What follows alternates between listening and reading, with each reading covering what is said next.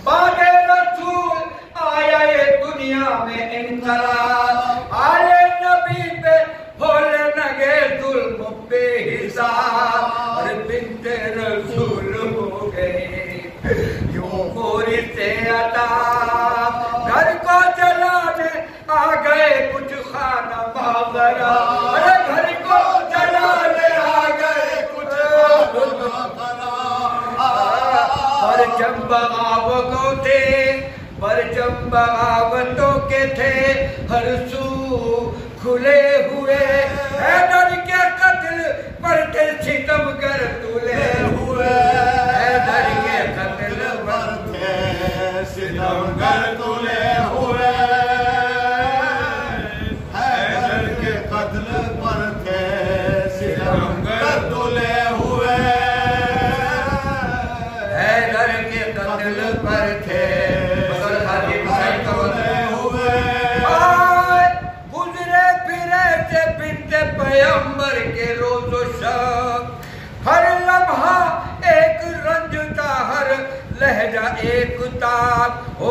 दे जुल्म शाम। हो शहर उन पे बेजबान पहलू शिकस्ता हो गया जहरा का है गजा अरे पहलू शिकस्ता हो गया जहरा का है गजा अरे दीने खुदा को जाए। अरे दीने खुदा को जाए। अमा की तराठी और बात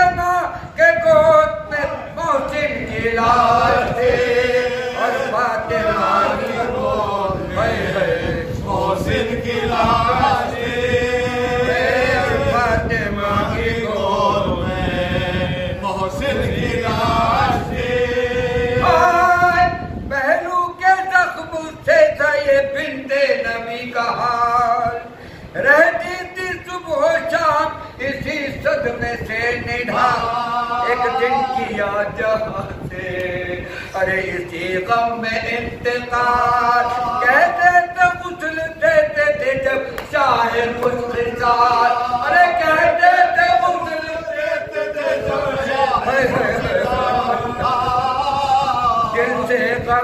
आलम के अरे समंदर उमर पड़े। पहले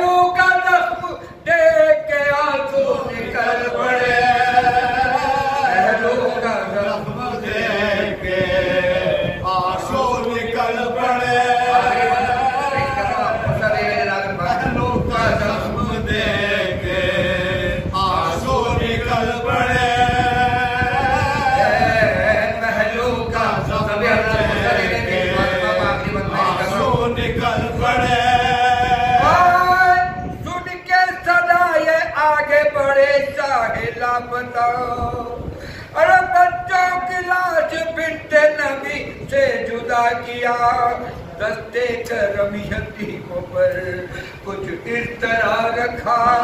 आने लगी पलक से ये जिबरील की सदा। आने लगी पलक से ये जिबरील की सदा। अरे बच्चों के सर पे फत है, खैबर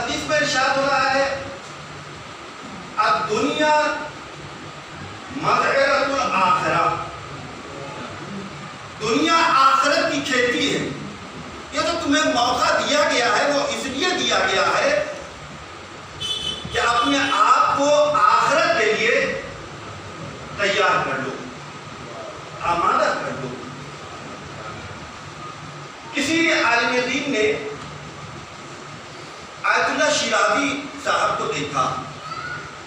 वो ख्वाब में आए। तो कहने लगे कि वो दुनिया अच्छी है या ये दुनिया अच्छी है? तो कहने लगे कि ये दुनिया अच्छी है। तो ये जो आलिम दीन थे आयतुल्ला शिराजी साहब से कहने लगे कि नहीं, आप कैसी बातें करते हैं। वो दुनिया अच्छी है, कहने लगे, नहीं, ये दुनिया अच्छी है। और बार बार कहा, अब दुनिया अब दुनिया अब दुनिया। दुनिया अच्छी। तो कहले क्यों? कहले इसलिए कि इस दुनिया में तुम कुछ कर सकते हो। लेकिन उस दुनिया में पहुँचने के बाद कुछ भी नहीं कर सकते। उसी को फिर हमारे इस्लाम ने इरशाद फरमाया, अब दुनिया ऐसा बात पढ़ना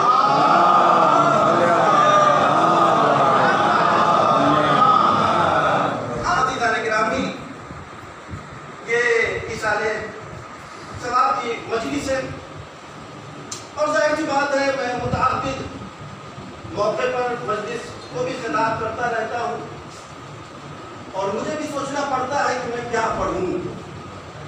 कभी कभी ऐसा भी होता है कि मुझे वक्त कम मिलता है। मजलिस का उन्वान क्या है? मजलिस सुकून और इसाले सवाब की मजलिस। इसाले सवाब का मतलब क्या?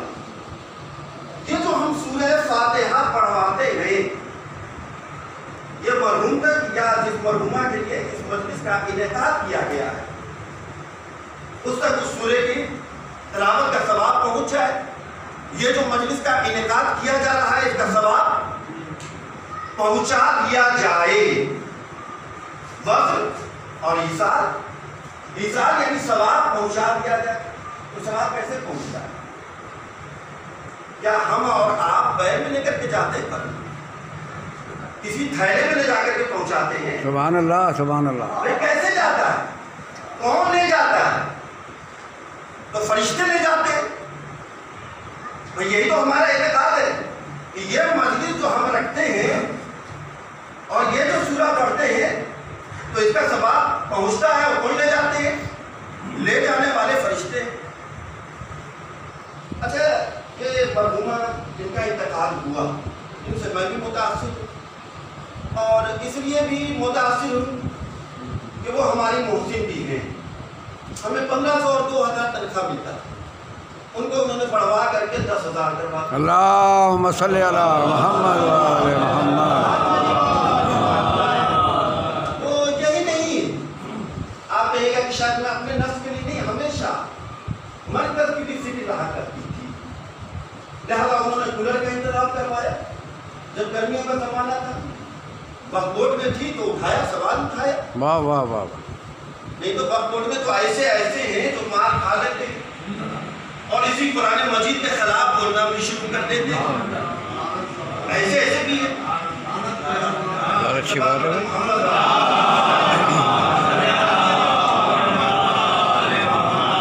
उन्होंने महसूस किया कि नहीं इससे अच्छी जगह होनी चाहिए। लिहाजा उन्होंने आवाज़ उठाई और इसके लिए भी जैसा कि सारे लोगों ने मुझसे बतलाया और उन्होंने भी बतलाया कि मैं फ़िक्र में हूँ कि तीन करोड़ की जगह कोई हो जाए उसको मैंने पास करवा ऐसा बात पढ़ते मोहम्मद।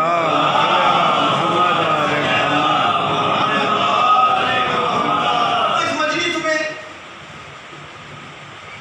मरहुमा से जो मुतासिर है अफराद वो आए हुए। रिश्तेदार जागी साहब के दोस्त थे, रिश्तेदार है, वो आए हुए और एक बहुत बड़ा मसला है निदान गिरामी जो बात आ गई है तो रोशन करता चाहिए कुछ वो अफराद भी आए हुए हैं कि जिनको पता चला कि मजलिस का इनका किया गया है तो करूँ मजलिस में हाजिर हो जाऊँ न उन्हें नकी जैदी साहब से कुछ लेना देना है। और न मरहुमा से कुछ। लेना देना है। अच्छा वो इतफाक से ऐसे मौके पर पहुँचे कि मैंने फातिहा पढ़वा दिया था। अब वो आए, उन्होंने मजलिस सुना। मजलिस सुन करके वो चले गए। अब आप बताइए कि जो उन्होंने मजलिस सुना और कुछ हासिल किया उन्होंने, उसका सवाब मरहुमा को मिलेगा या नहीं? भाई फातिहा तो नहीं पढ़ा।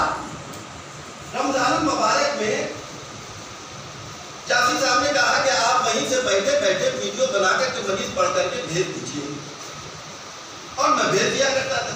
तो कभी कभी ऐसा होता था कि नाम पढ़ने में इश्तबा हो जाए हो जाए। लिहाजा ये चेक करते थे।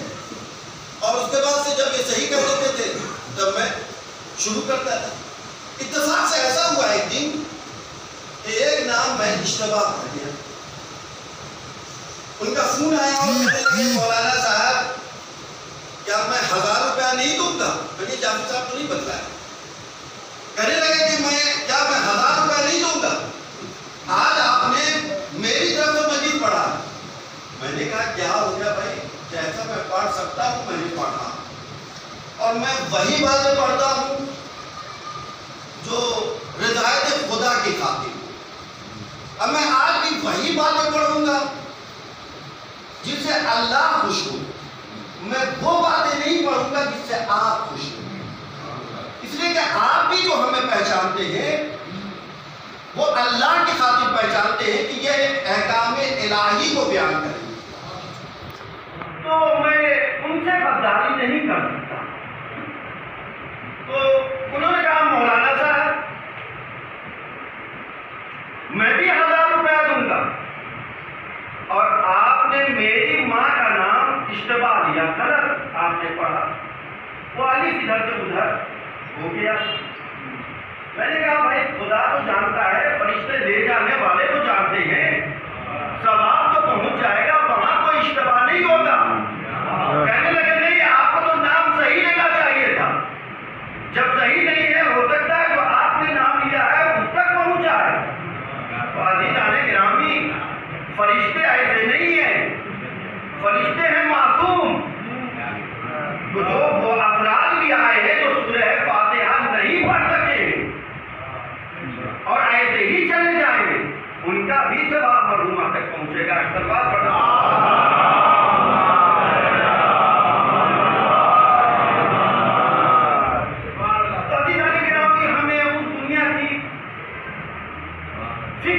चाहिए और जैसा कि मसीह ने ज़िक्र किया, कि उस कब्र में अकेले सोने हो सोना।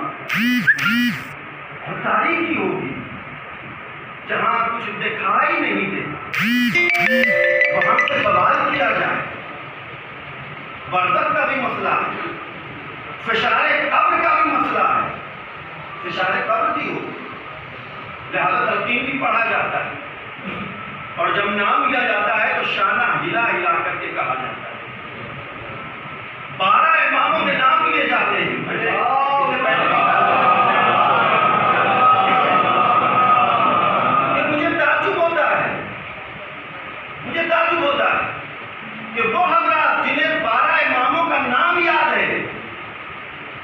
जिन्हें है पुराने मजीद का नाम याद है, शाना हिला हिला करके कहा जाता है कि तुम डरो नहीं ला तखफ बना तहजन तुम डरो नहीं खौफ मत करो कहे दो जवाब में कि कुरान मजीद हमारी किताब है।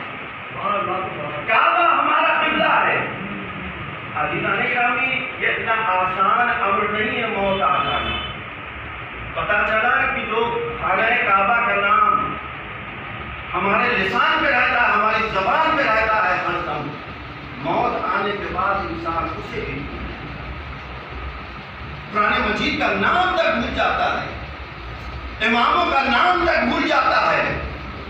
लिहाजा शाना हिला हिला करके कहा जाता है। अफहिमता इसमई अतिया सैदी तुम समझो, डरो नहीं, खौफ मत करो और कह दो बेहद घबराए हुए। तो इसकी तरफ़ सोचना चाहिए अभी तारीख बहुत सख्त मरहला है आप सोचिए, अभी ग्रामी के जनाब फातिमा बिनते असद से ज़्यादा फजीलत में कौन हो सकता है? कौन खातून हो सकता है?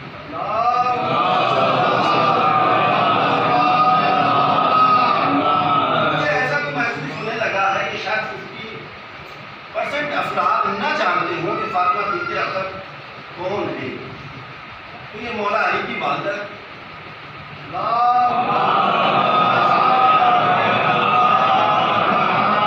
लेकिन शहजादी फातिमा जहरा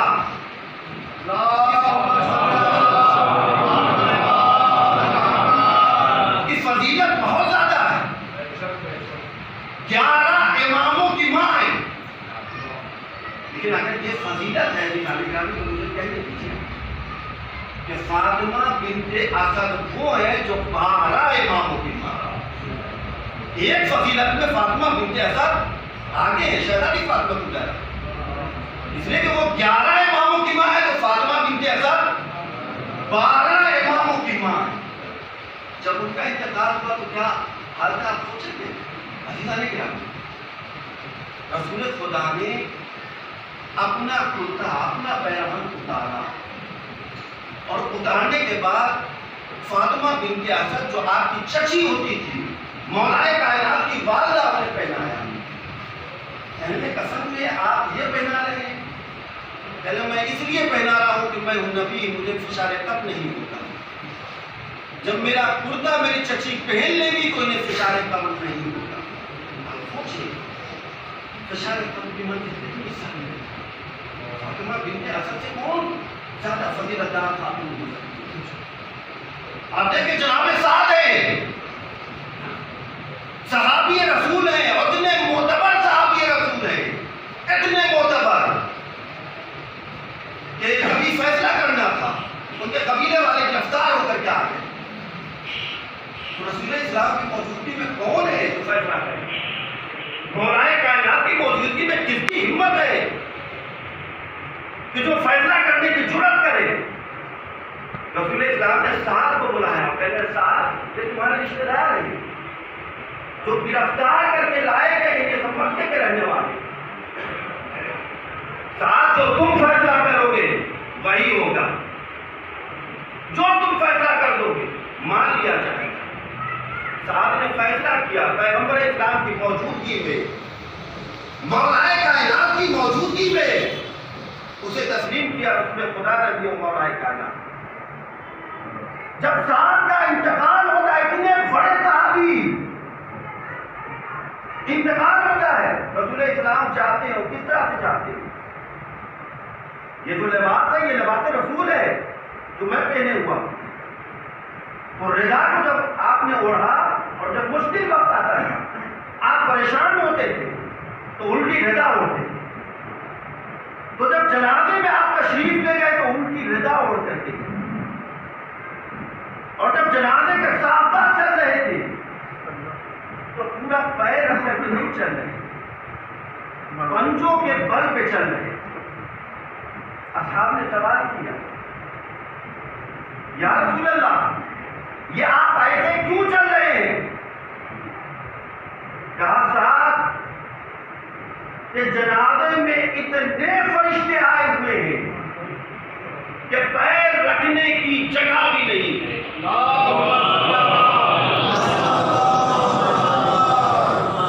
आप सोचे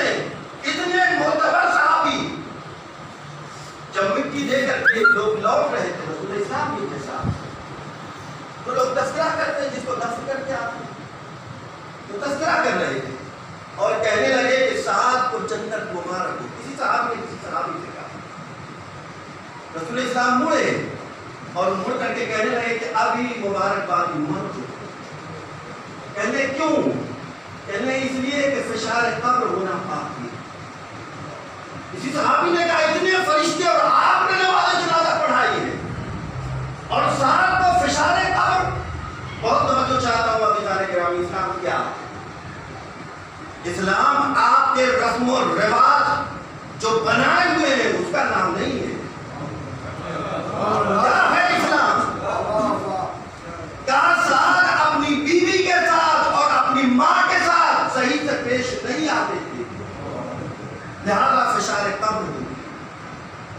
इंसान ग्राम की हमें सोचना है, हो सकता है कि हमें कोई शख्स हो जो बाहर तो दोस्तों के साथ बहुत अच्छे से मिलता हो, लेकिन अंदरूने खाना उसकी ज़िंदगी अच्छी ना हो तो उसे भी फिशार कब्र होगी। और उस दिन जब मशर का मैदान होगा, ये माँ जो बहुत ही मेहरबान माँ मानी जाती है, जो रसूल रसूल इस्लाम के पास एक शख्स आता है सलवार तो मोहम्मद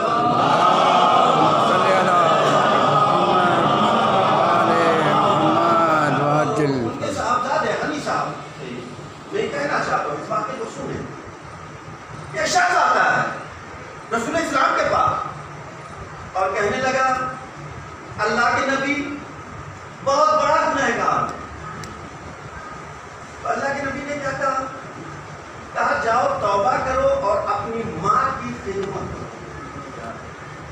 सुभान अल्लाह तौबा करो और अपने माँ की खिदमत करो।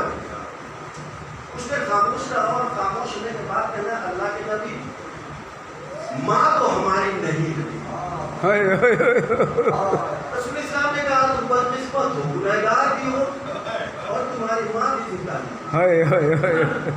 कहने लगे कि जाओ बाप बाप की खिदमत करो।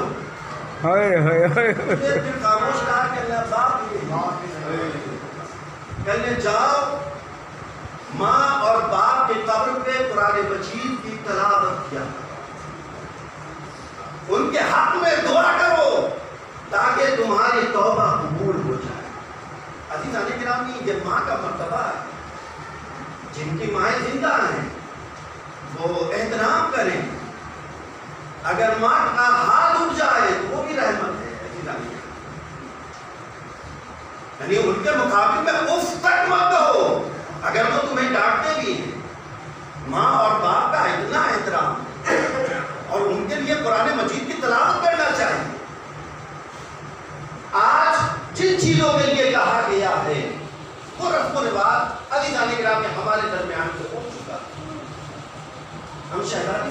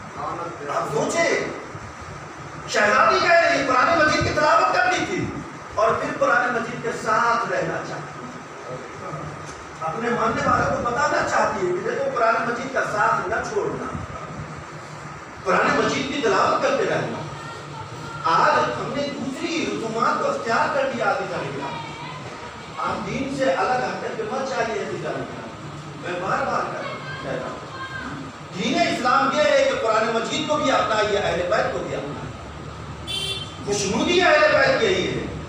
शहजादी फातिमा जहरा, जब ही खुश होंगी, जब आप तलावत कुरान मजीद की आप सच बतलाइए कि सुकून की मजलिस में अब कितने लोग हैं जो कुरान मजीद की तलावत करते हैं?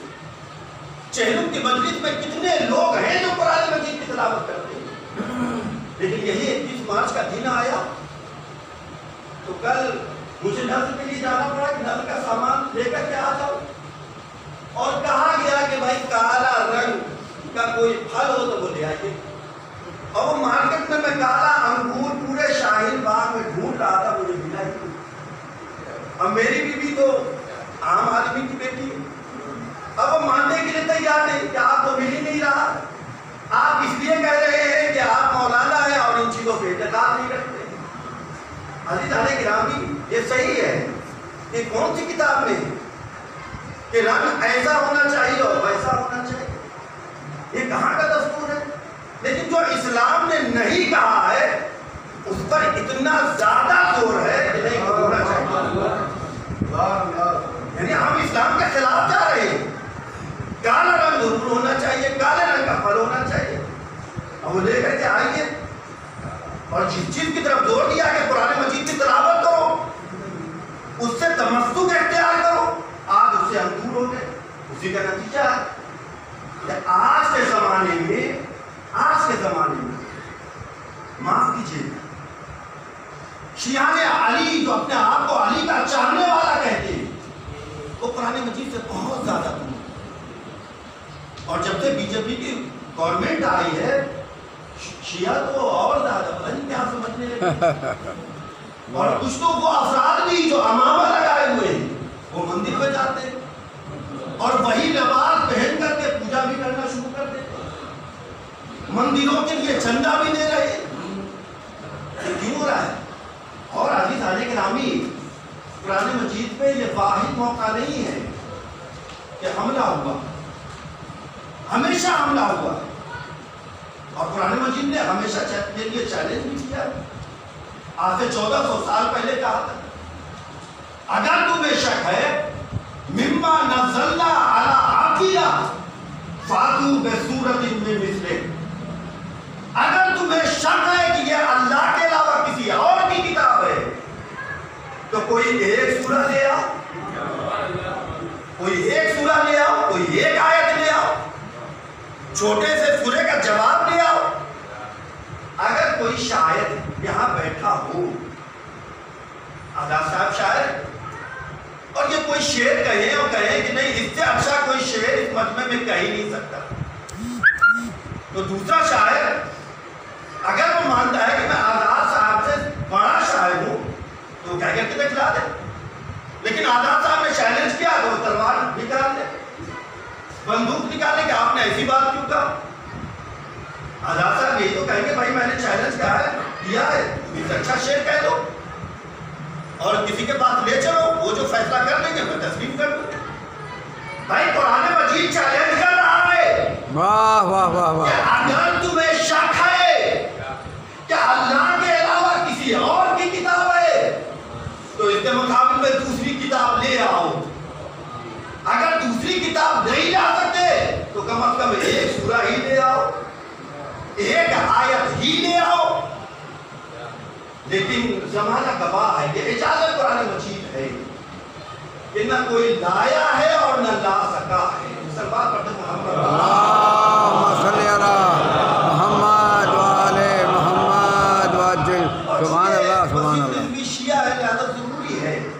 थोड़ा सा तस्करा करूँ। दावा ये करता है? शिया तो नहीं है।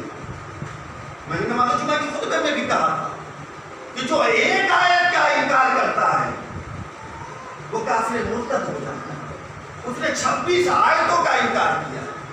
लानत हो लानत तो उसने जाहिरन अपने काफिर होने का ऐलान कर दिया है कि मैं काफिर हूँ।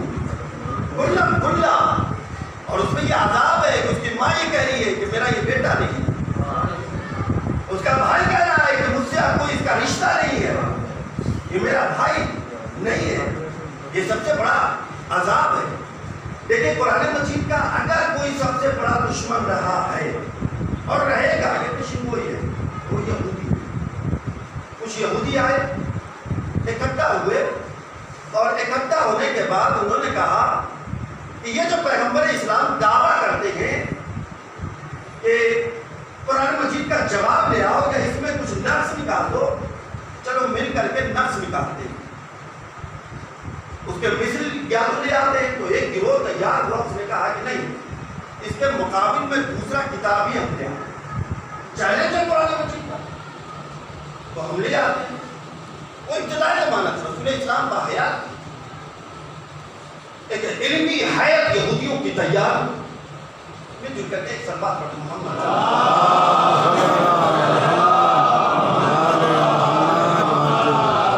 अब वो जो इल्मी हयात आई दूसरे साल तो ये यहूदी जो खर्चा पानी उनका उठा रहे थे उन्होंने सवाल किया भाई वो तुमने जमा किया। इसके मिस्र दूसरी किताब तुमने मुरतब किया। कहने लगे, नहीं हो पाया। लेकिन वादा करते हैं कि दूसरे साल हम इसके मिस्र दूसरी पुराने मजीद जैसी किताब ले आए कहने ठीक है। दूसरे साल भी वो अफराद आए। कहा, क्या जमा कर लिया कहा, नहीं, माजरत। तो वो सब गुस्सा है। उन्होंने कहा कि मैं अब कॉल देता हूँ कि नहीं, तीसरे साल तो ज़रूर लिया बहुत तवज्जो चाहता तीसरे साल आए, तारीख में बात तीसरे साल आए और आने के बाद कहने लगे कि कुरान मजीद का जवाब तो नहीं ला सका लेकिन कुरान मजीद में कुछ नकायश निकाले, कुछ कमी निकाले। वो यहूदी अफराद बहुत खुश हुए। अरे ये तो बहुत बड़ी बात है। कहने कितनी कमी निकाली कहने चार लफ्ज ऐसे हैं जो अरब इस्तेमाल नहीं करते। और वो कुरान मजीद में आया। कहने चार? कहने हाँ। कहने ये तो बहुत बड़ा काम किया तुमने। ये तो गोया के कुरान मजीद का जवाब लाने के बराबर ही है। है। तो काफ़ी था। और चार चार। बहुत तवज्जो चाहता हूँ और ये वसीम रिजवी को भी सुनना चाहिए कहने चार चार। कहने वो कौन कौन सा लफ्ज है? कहने एक लफ्ज है खूब बारह। कुरान मजीद में एक आयत था, टुकड़ा है जिसकी मैं तलावत कर रहा हूँ। हाजा तखजुना होतवा ये लोग आयतें खुदाबंद आलम के मज़ाक उड़ाते हैं मस्करा करते हैं। तो होतवा के माना होते हैं मस्करा कहने होतवा ये अरब इस्तेमाल नहीं करते जो कुरान मजीद में आया। है हाँ ये तो सही कह रहे हो यहूदियों ने कहा कहने दूसरा लफ्ज क्या है? कहने दूसरा लफ्ज है ओजोबा ओजोबा जो है, वो अरब इस्तेमाल नहीं करते। ओजोबा यानी अजीब। तो अरब कहते हैं अजीब। और वहाँ आया है ओजोबा कहने के तीसरा लफ्ज क्या है? कहने गुब्बारा। गुब्बारा यानी बड़ा। अरब कबीर लफ्ज इस्तेमाल करते हैं, बड़े के गुब्बारा का इस्तेमाल नहीं करते। कहले चौथा लफ्ज क्या है? कहले अरब कहते हैं ले शहीद कुरान मजीद में आया है ल शहीद तो ये लाम पर जो जबर आया है, ये अरब इस्तेमाल नहीं करते। तो कितने लफ्ज हुए? चार लफ्ज ओजोबा ओजोबा तो बारह लशैर कहने ये तो बहुत बड़ा काम किया हम लोगों ने। अब रसूल इस्लाम के पास चलेंगे, वो सवाए होती है आए इत्तेफाक से। रसूल इस्लाम गुजर रहे थे, जल्दी से रास्ता रोका और मुस्कुराते हुए कि ये जो कुरान मजीद का चैलेंज है, आज चैलेंज टूटेगा कुरान मजीद और आने के बाद कहने लगे कि मैं कुरान मजीद में नकायश निकाल करके लाया रसूल इस्लाम भी मुस्कुराए और कहने अच्छा नकायश निकाल करके लाए कहने हाँ बयान करना चाह। कहने नहीं ऐसे बयान मत करो। मेरे घर पे आओ और वहाँ बैठ करके करते लेकिन आना तो तुम्हारे दरमियान जो सबसे ज़्यादा बुज़ुर्ग हो, बूढ़ा हो, उसे भी साथ में लेके आना। उसका एहतराम होगा, तुम्हारे दरमियान खास हाँ चलो उनको लेके आना। अब उसे ढूंढा गया और ढूंढ करके लेकर के आए। मदीने में भी तीन कबीले यहूदियों के मशहूर रहते थे बनी नजीर बनी कुरैदा, ये कबीले रहते थे तो बड़े बड़े कबीले और मदीना बसाया ही इन्होंने। वो अफराद रहते थे। उनमें से एक बुज़ुर्ग सहाबी, कई सहाबी। अब वो उसकी उम्र को तो नहीं लिखा है कि 99 के थे या 100 के थे या 100 के ऊपर के थे। लेकिन बहुत बूढ़े हो गए। ढूंढ करके लाए। किसी सहारे से रसूल इस्लाम के पास पहुँच गए। अब जैसे ही पहुँचे पीछे पीछे पूरी कौम वाले कि आज कुरान मजीद का जवाब न ला सका तो कम अज कम नकायत लेकर के ज़रूर आ गए आज रसूल इस्लाम को शर्मिंदा करे। आए और आने के बाद बैठे। जैसे ही बैठे, रसूल इस्लाम की आदत ये थी कि खड़े हो जाते थे एहतराम के जब कोई भी आता तो रसूल इस्लाम मामूल के मुताबिक जो खड़े होते थे, वो सब जब आए तो खड़े नहीं हुए, बल्कि बैठे ही हुए जैसे ही उनका बुज़ुर्ग बैठा रसूल इस्लाम उनके खड़े हुए। जैसे ही खड़े हुए, ये बूढ़ा आदमी जो आया था ये रसूल इस्लाम खड़े हुए हैं, ये घबरा करके खड़ा हो जैसे ही वो खड़ा हुआ, रसूल इस्लाम फ़ौरन बैठे। जैसे ही बैठे, वो बैठा, रसूल इस्लाम खड़े हो तो ऐसे ही दो बार, तीन बार होता रहा। बूढ़ा था, उठना और बैठना इसके लिए बहुत सा था। चिल्लाया। बूढ़ा आदमी ऐसे भी पहले चिल्लाता है। बहुत जल्दी चिल्ला जाता तो चिल्ला कर कहने लगा, या मोहम्मद आता तहजूनी हो ए मोहम्मद क्या तुम हमारा मज़ाक उड़ाते हो देखिए चार लफ्ज लेकर के आए थे हुदवा तो हुदवा कुरान मजीद में नहीं है आए हैं इतराज के लिए अब जी कहने लगे या मोहम्मद अतत्तखिजूनी हुदवा क्या तुम हमारा मज़ाक उड़ाते हो इन्नी शैखुन गुब्बारा गुब्बारा में भी एतराज़ था कि लफ्ज कबीर है जबकि मैं बहुत बड़ा बहुत ज़ईफ हूँ इन्नका लशय्युन उजमा वाह वाह वाह लशय्युन पर भी एतराज़ था उजमा पर भी एतराज़ था इन्नका ए मोहम्मद तुमसे ये बहुत बईद है बहुत दूर है कि तुम ऐसी हरकत अंजाम दो पैगंबर इस्लाम ने कहा चार लफ्ज लेकर के आए थे क्या रब इस्तेमाल नहीं करते खुद इस्तेमाल करके बतला रहे हो क्या रब इस्तेमाल करते हैं वाह वाह वाह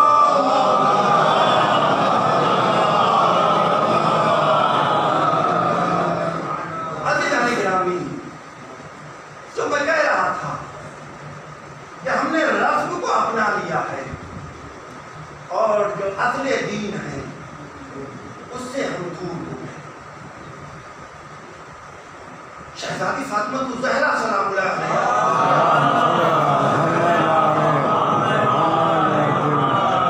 कि अली हमारी कब्र पे आइएगा ज़रूर ज़रूर आइएगा लेकिन ऐसे ही आकर के जल्दी से चले मत जाइएगा कुरान मजीद की तलावत करिएगा कुछ देर बैठिएगा कुरान मजीद की तलावत करिएगा ये मरहुमा शहजादी फातिमा जहरा की जानने है है उसकी सीरत पे चलने वाली थी। कौन शहजादी फातिमा जहरा जो मजलूमा है। मजलूमा इंतकाल हुआ। सब के सब जमा हो गया उस मजलिस में इजहार मोहब्बत के लिए ताजियत के लिए, सूरह फातिहा पढ़। रहे साहब को तस्वीर दे रहे हैं। लेकिन पूछिए कि इनकी जौजा को किसी ने तमाशा तो नहीं मारा लेकिन हाँ ने आपको बाप के इंतकाल के तीन रोज के बाद, सिर्फ़ सिर्फ़ तीन रोज के बाद शहजादी फातिमा के घर से धुआँ, बुलंद हुआ आसमान की तरफ़ जब धुआँ जा रहा था मदीने की खवातीन ने जब धुएँ को देखा तो कहा, मदीने में तो नहीं है। के बाद के इंतकाल के तीन रोज पहले घर में चूल्हा रोशन हो गया। ये क्या किया शहजादी फातिमा जहरा खाना बनाना शुरू किया।